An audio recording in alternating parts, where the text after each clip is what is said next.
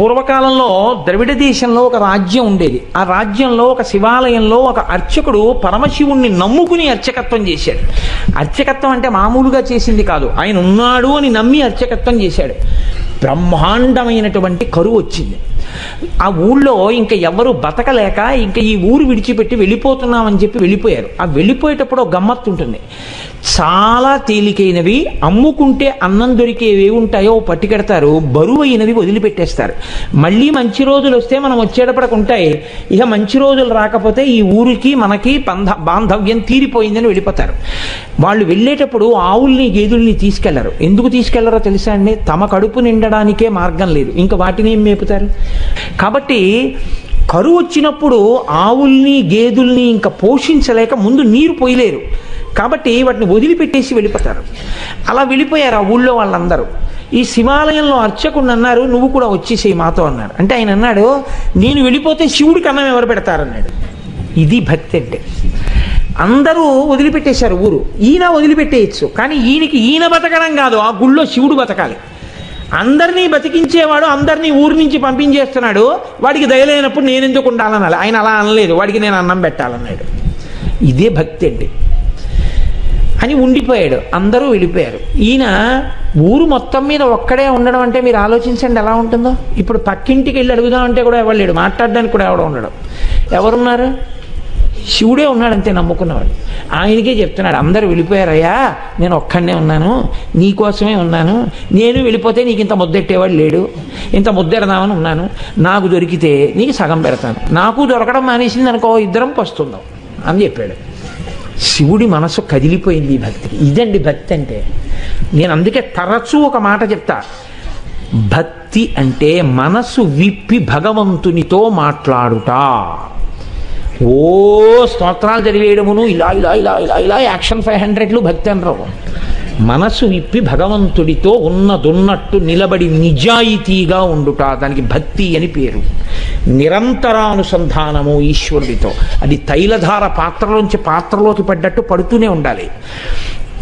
కాబట్టి చూడండి ఇప్పుడు కదిలింది ఈశ్వరుడి గుండె. ఆయన అన్నాడు ఒరే నువ్వు అక్కడివి నా కోసం ఉండిపోయావు పనిలో పంచి నీకు చాలా డబ్బు వచ్చే మార్గం ఒకటి చెప్తాను. నేను ఒక శ్లోకం ఒకటి రాసిస్తాను. ఈ ఊరి ఈ రాజ్యానికి ఉన్నటువంటి ప్రభువు చాలా సాహిత్యమునందు మక్కువ కలిగినటువంటి వాడు. కాబట్టి ఆయన నువ్వు పట్టుకెళ్ళి ఈ శ్లోకం చెప్తే చాలా సంతోషించి నీకు కానుకలు ఇస్తాడు. నువ్వు ఆ కానుకలు తెచ్చుకుని దానితో నువ్వు బతుకు నాకు నైవేద్యం పెట్టు అన్నాడు. అంటే అలాగే అంగీకరించి ఆ గుడిలో ఉండేటటువంటి అర్చకుడు ప్రభువు దగ్గరికి వెళ్ళాడు. వెళ్ళి పరమశివుడు రాసిచ్చినటువంటి పత్రాన్ని తీసి ఆ పద్యాన్ని చదివాడు. సింధుర రాజగమనార్థమ్మిల్ల బంధంబు సహజ సుగంధంబు. అందులో ఉంది పార్వతీదేవి యొక్క కేశపాశము సహజమైనటువంటి సువాసనతో కూడి ఉంటుంది. సింధుర రాజగమనాథమ్మిల్ల సహజ సుగంధమ్ము సింధుర రాజగమన అంటే ఏనుగు ఎలా నడుస్తుందో అటువంటి ఏనుగు యొక్క నడక వంటి అందమైన నడక కలిగినటువంటి పార్వతీదేవి యొక్క కేశపాశము సహజమైన సుగంధము కలిగినది. ఆ రాజు యొక్క ఆ రాజు యొక్క ఆస్థానంలో ఆస్థానకది ఒక ఆయన ఉండేవాడు నత్కీరుడు అని ఆయన పేరు. ఆ నత్కీరుడు అక్కడ కూర్చుని ఉండగా ఈయన వెళ్ళి ఆ పద్యం చదివాడు. చదివితే ప్రభువు సంతోషించబోయాడు. నక్కీరుడు లేచి అన్నాడు తప్పిది చెప్పరాదు. కవితా సమయంబున నొప్పు కాదు నీ వప్ప నీవిప్పగిదిన్ రచయింపవచ్చునే అన విప్రుడు తెల్లబోయి నాక పరమేశ్వరుండు ఈ వసుధాదిపుపై రచయించి ఇచ్చెగాని ఏ ఒప్పును తప్పునేనరుగా ఉత్తములారయటం క్రమరన్. కాళహస్తీశ్వర మహాత్యంలో ధూర్జటి ప్రణీతం ఇది ఆయన అన్నాడు అయ్యయ్యో తప్పిది చెప్పరాదు. ఇలా చెప్పచ్చా? తప్పు. ఎలా చెప్తున్నావు? కవితా సమయంబున నొప్పు కాదు. ఒక కవిత్వం చెప్తే దానికి ఒక నియమం ఉంటుంది. ఏది సహజంగా ఉంటుందో అది చెప్పాలి. అసహజమైన విషయం రాడు వెంట్రుకలకి సువాసన ఉండడం ఏంట్రే? ఎలా రాసుకొచ్చావు? కవితా సమయంబున నొప్పు కాదు. నీ వప్పగిదిని రచయింపవచ్చునే? నువ్వు ఇలా రచనలు చెయ్యొచ్చా? అని అడిగాడు నత్తీరుడు లేచి. పాపం ఆయన శివాలయంలో అర్చకుడు. పాపం కవిత్వం రాదు. నత్తీరుడంతటి వాడు లేచి గద్దించేటప్పటికీ హడిలిపోయాడు. హడిలిపోయి నమస్కారం చేసి కాళ్ళ మీద పడిపోయి అన్నాడు ఈ ఆ పరమేశ్వరుండు ఈ వసుధాదిపుపై రచించి ఇచ్చే కానీ ఏ ఒప్పును తప్పు నేనురుగా. ఓ ఉత్తములారయటన్సు క్రమరన్ ఓ ఉత్తములారా నేనేమీ రచించలేదు. నాకు తెలియదు అన్నం లేదని ఏడుస్తుంటే ఉంటే నీకు పెడతా లేకపోతే లేదయ్యా శివయ్యా అన్నాను. అంటే నాకు రాసి ఇచ్చాడు. నేను ఈ రాజు మీద రాశానయ్యా వెళ్ళన్నాడు డబ్బు ఇస్తాడన్నాడు వచ్చాను చదివాను నేను రాయలేదు. ఈ తప్పు నాకు తెలియదు. నన్ను మన్నించండి క్షమించండి నేను వెళ్ళిపోతున్నాను అన్నాడు పో అన్నాడు. తిరిగి వచ్చేసాడు ఎక్కడికి వచ్చాడు వెళ్ళిపోలేదు. అందరూ వదిలిపెట్టేస్తే నమ్ముకుని గుళ్ళో ఉన్నాను. నాకు దొరికితే నీకు పెడతానన్నాను. ఫోన్లే.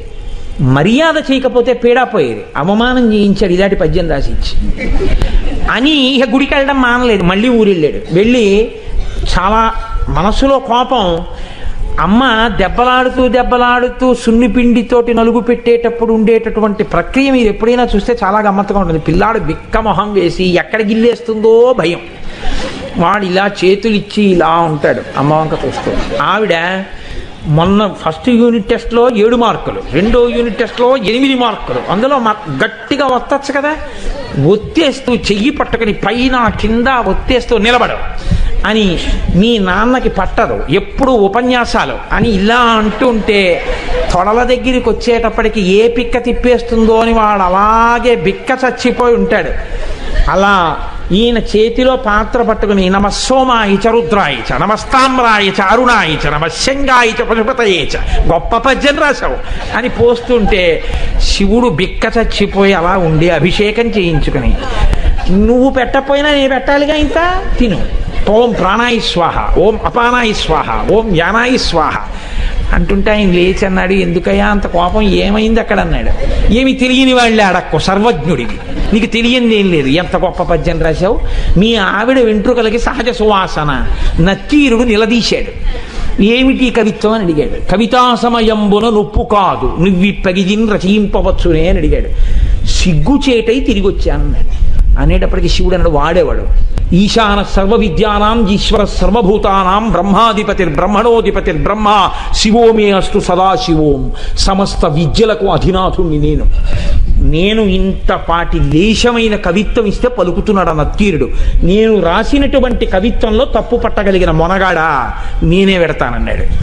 ఒక బ్రాహ్మణుడి వేషం వేసుకున్నాడు తలపాగా చుట్టుకున్నాడు రాజుగారి సభలోకి వెళ్ళాడు వెళ్ళేటప్పటికి అందరూ అబ్బో చాలా వర్చస్సుతో ఉన్నాడు లేచి నిలబడ్డాడు. నిలబడేటప్పటికి ఇంకా ఎవరిని ఏమీ అడగలేదు. చాలా కోపంతో ఉన్నాడు.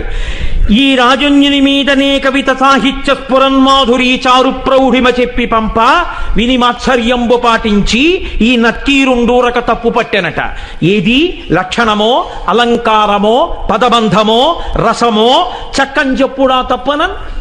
శివుడు నిలదీశాడు. ఎరా నేను ఈ రాజన్యుని మీదనే కవిత సాహిత్య స్ఫురన్ మాధురి చెప్పి పంప. అద్భుతమైనటువంటి పద్యం ఒకటి నేను రాసి పంపించాను. ఈ నత్తీరుండు మాత్సర్యంబు పాటించి ఊరక తప్పు పట్టానట. అవతలవాడు పద్యం రాయడం ఏమిటి? నేను మెచ్చుకోవడం ఏమిటని కేవలం అసూయతో నత్తీరుడు తప్పట్టుకున్నాడు పద్యంలో. ఏది పద్యంలో తప్పెక్కడుంది చెప్పమనండి?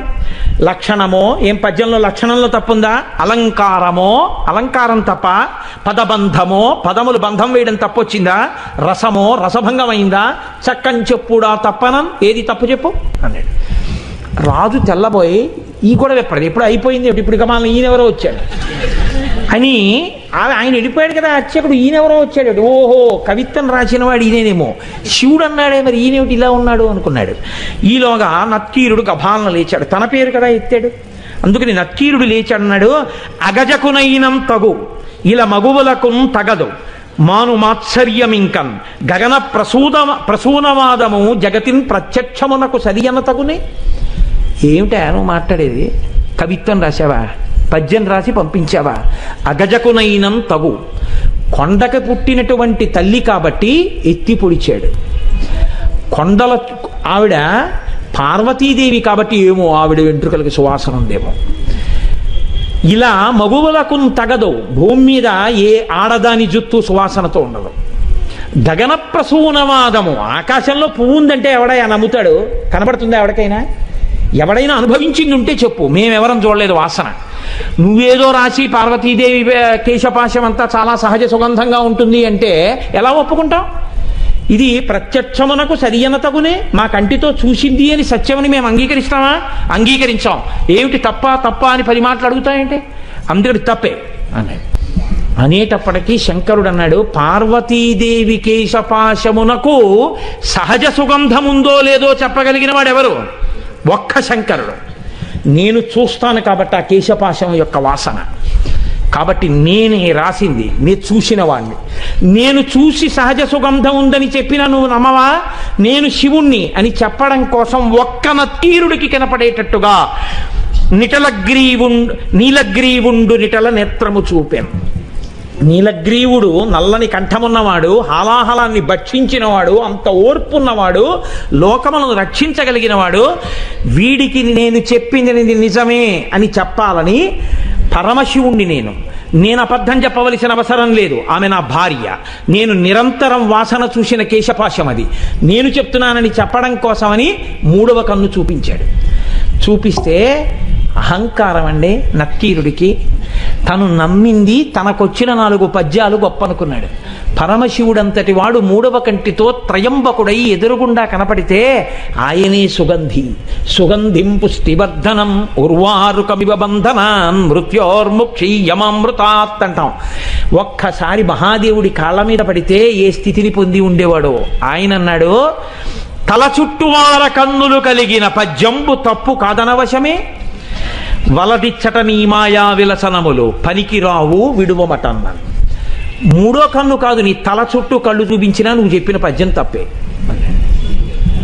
అహంకారం చూడండి ఎలా ఉంటుందో. అన్ని విద్యలకు ఆలవాలమైనటువంటి శంకరుడే వచ్చి చెప్తే ఎందుకు వచ్చిందిరా మహానుభావుడు చెప్తున్నాడు ఏమో నా తల్లి కేశపాశమనకు సుగంధం ఉండి ఉండవచ్చు. ఆ అనుభవము నేను అలా అమ్మ కేశపాశ దర్శనం చేయగలిగిన భాగ్యాన్ని శంకర నాకు కూడా కృప చెయ్యని పాదాల మీద పడాలి. తన విద్యతో వాదన చేస్తున్నాను అనుకున్నాడు నీ తల చుట్టూ కళ్ళు చూపించినా నీ పద్యం తప్పే అన్నాడు. వెంటనే శంకరుడు అన్నాడు నీవు కుష్ఠవ్యాధి చేత భయంకరముగా పీడింపబడదువుగాక. ఉత్తర క్షణంలో ఒళ్ళంతా వివరణమై కుష్ఠవ్యాధి బయలుదేరింది. ఇప్పుడు పరమశివుడి కాళ్ళ మీద పడ్డాడు. అయ్యయ్యో తండ్రి వచ్చిన నాలుగు ముక్కలకి కన్ను మిన్ను కానక అహంకారంతో ప్రవర్తించాను. ఖచ్చితంగా జగదంబ యొక్క కేశపాశము సుగంధభరితమే అయి ఉంటుంది నన్ను అనుగ్రహించి నాకు క్షమాభిక్ష పెట్టు అని ఆయన కాళ్ళ మీద పడ్డాడు. శివుడు అన్నాడు నువ్వు కైలాస పర్వత శిఖర దర్శనం చేస్తే నీ యొక్క పాపం పోయి నీకు మళ్ళీ ఆరోగ్యం కలుగుతుందని అంతర్థానం అయ్యాడు ఇప్పుడు ఈ కుష్ఠం వ్యాధితో బయలుదేరాడు. ఎంత వర్ణించాడో దుర్జటి. ఎప్పుడైనా అవకాశం ఉంటే కాళహస్తీశ్వర మహాత్యం చెప్తాను. అప్పుడు విందురు కానీ అప్పుడు మహానుభావుడు ఉత్తర భారతానికి నడిచి వెడుతూ కైలాసం కనపడక కుష్ఠవ్యాధి పెరిగి వేళ్ళు కాళ్ళు ఊడిపోతుంటే ఏడుస్తుంటే ఆనాడు సుబ్రహ్మణ్యుడు ప్రత్యక్షం అయ్యాడు ఒక చోట చెట్టు కింద.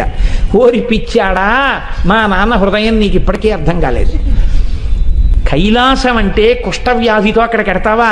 దక్షిణ కైలాసం కాళహస్తి. కాళహస్తి శిఖరం చూడమన్నాడు రామా నాన్నగారని చెప్పి కాళహస్తి శిఖరం చూపించాడు. వెంటనే కుష్ఠవ్యాధి పోయింది. అప్పుడు అక్కడే ఉన్నటువంటి పాతాళగంగలో సరోవరంలో స్నానం చేసి శంకరుడి మీద ద్రవిడ భాషలో ఆయన బ్రహ్మాండమైనటువంటి కావ్యరచన చేశాడు. కాబట్టి అమ్మవారి యొక్క కేశపాశమునకు సహజమైనటువంటి సుగంధం ఉంటుంది అని చెప్పి పెద్దలైనటువంటి వారు ధ్యానమునందు అనుభవించారు.